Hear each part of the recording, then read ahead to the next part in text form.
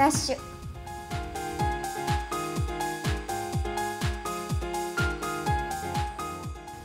それこそこれくらいのベージュっぽい茶色とかベージュとかそういう系の色をすごい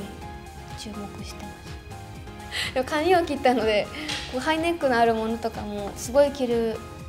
もともと好きなんですけどハイネックの長さによっても全然雰囲気が変わるのでなんかその長さとか太さとかにボリュームとかにこだわり始めました。